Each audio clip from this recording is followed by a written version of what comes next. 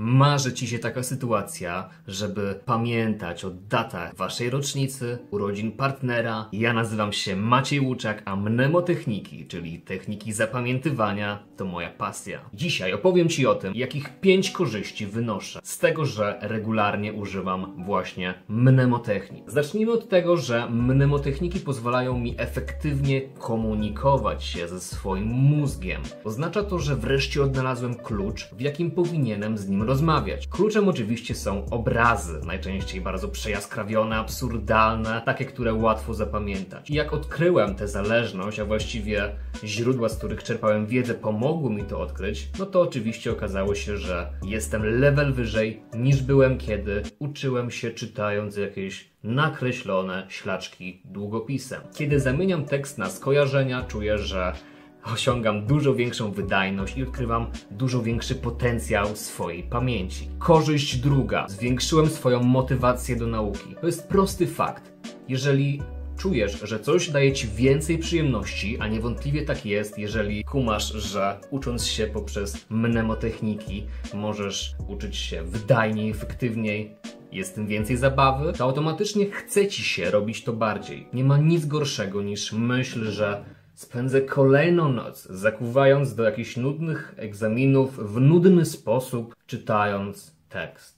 A tymczasem nauka z wykorzystaniem mnemotechnik polega na tym, że układasz sobie skojarzenia do tekstu. Potem ja na przykład implementuję je do pałacu pamięci. Potem sobie jeszcze te pałace nagrywam na takie formy podcastowe, które puszczam sobie w metrze, w komunikacji, podczas jazdy samochodem. To wszystko jest bardziej dynamiczne, ciekawe, fascynujące. Jeszcze odkrywam później, jak robić to lepiej, szybciej, fajniej. To sprawia, że czuję się bardziej zmotywowany do uczenia się, zapamiętywania, poznawania nowych rzeczy i przede wszystkim lepszego operowania swoim mózgiem, uporządkowanie.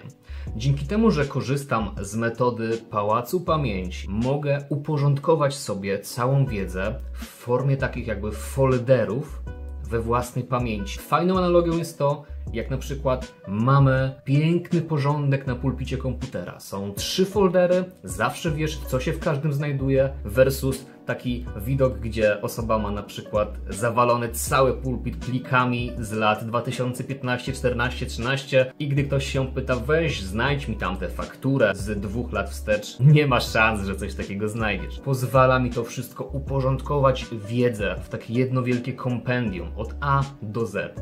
Jedna wielka taka encyklopedia, pięknie pokatalogowana w mojej pamięci. To niewątpliwie jedna z największych zalet korzystania z technik pamięciowych. Kolejną rzeczą jest poczucie humoru. Dzięki temu, że korzystam z technik zapamiętywania, mogę implementować moje poczucie humoru, które uważam za jedną z najważniejszych rzeczy w moim życiu.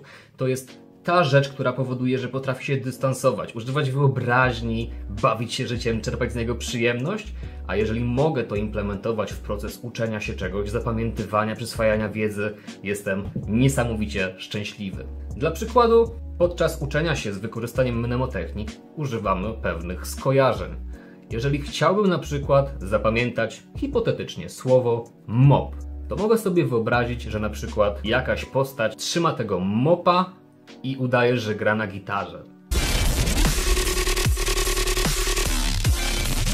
Tego typu podejście nie występowało podczas okresu, gdy uczyłem się tradycyjnymi metodami. Było to raczej siedzenie przy biurku i nudne pisanie. I to oczywiście wzmaga również rozwój kreatywności. Czasem, odkąd korzystam z tych technik pamięciowych, rozwinąłem swoje predyspozycje w kontekście bycia bardziej kreatywnym. Łatwiej wpadam na pewne pomysły, łatwiej zapamiętuję, dzięki temu, że umiejętnie właśnie korzystam ze skojarzeń, a do tego naprawdę trzeba wyrobić sobie z czasem pewną kreatywność, która oczywiście na własnym przykładzie mówię, do wyrobienia jest. Dla przykładu, gdybym do słowa mop chciał zapamiętać słowo ogień, to mógłbym sobie stworzyć to w taki obraz.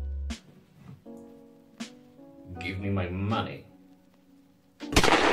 Wydaje mi się, że firma produkująca mopy powinna się do mnie zgłosić. Zrobiłby mi chyba dobry mm, marketing. Tymczasem zachęcam Cię, żebyś podzielił lub podzieliła się jakie fajne korzyści Ty wynosisz z mnemotechnik albo po prostu swoich różnych technik używanych w życiu. Będzie mi bardzo miło, jeśli podzielisz się swoją opinią w komentarzu.